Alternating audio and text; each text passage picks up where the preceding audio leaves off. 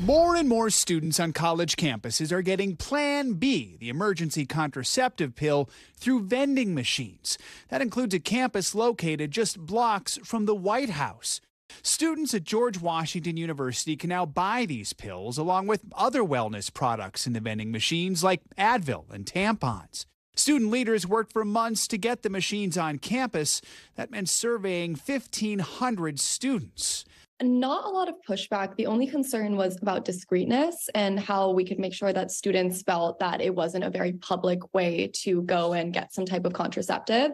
Which is why the vending machines were placed in the basement of the student center. The two student leaders behind the effort say they got the idea from other schools testing out similar machines.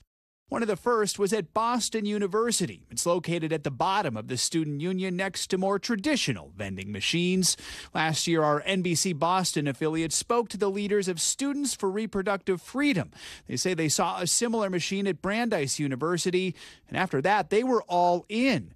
Since its debut, the machine at Boston University has dispensed more than a thousand emergency contraception pills. There, students can get them for just over seven bucks. We just wanted something that was like low cost, easy to access. Right now at George Washington University, the pills cost $25, but they hope to bring down the cost. These machines come at a time when many in the U.S. are concerned about reproductive rights. The Supreme Court's decision to overturn Roe v. Wade last year reignited the debate over the right to abortion.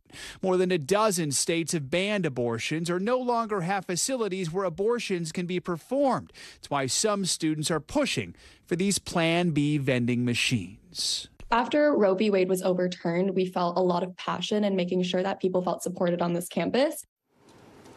The American Society for Emergency Contraception says more than two dozen universities have vending machines filled with emergency contraception right now. Students for Life of America, which opposes abortion rights, says the decision to sell emergency contraception this way, quote, undercuts women. Thanks for watching our YouTube channel. Follow today's top stories and breaking news by downloading the NBC News app.